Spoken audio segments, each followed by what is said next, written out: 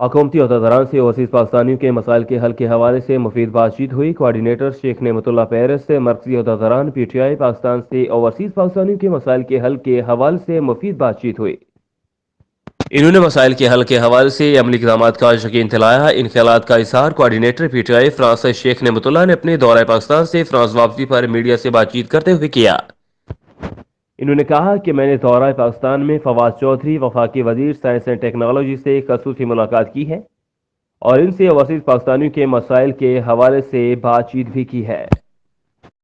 انہوں نے وعدہ کیا کہ اوورسیز پاکستانیوں کے مسائل کے حوالے سے متعلقہ وزارتوں سے بات چیت کریں گے۔ اس کے علاوہ فواز چودھری سے موجودہ صورتحال پر تبادلہ خیال کیا۔ ان کے علاوہ تحریک انصاف کے مرکزی رہنما ڈاکٹر عبداللہ ریاڑ، مرکزی secretary of of international chapter کی دعوت پر ان کے آفس کا دورہ کیا۔ جہاں انہوں نے بڑی گرم جوشی سے استقبال کیا، ڈاکٹر عبداللہ ریاض سے ملکی سیاسی صورتحال اور فرانس کی تنظیم سازی۔ انٹرا پارٹی الیکشن سمیت دیگر اہم امور پر تبادلہ خیال بھی کیا۔